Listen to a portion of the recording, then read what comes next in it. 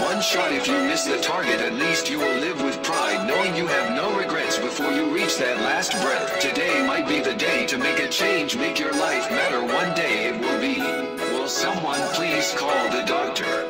I think I'm having a schizoid embolism attack.